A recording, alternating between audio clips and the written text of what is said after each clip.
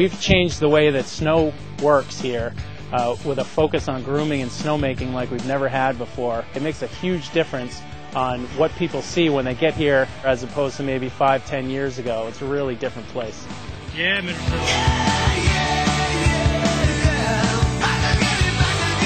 Mittersill backcountry, ungroomed, no snowmaking. We essentially opened up a, an abandoned ski area that's bigger than a lot of regular ski areas. There's an amazing amount of terrain on Mittersill. We kept the width of the trails pretty much the same because we wanted to have the backcountry feel and to retain more snow. Very unique experience.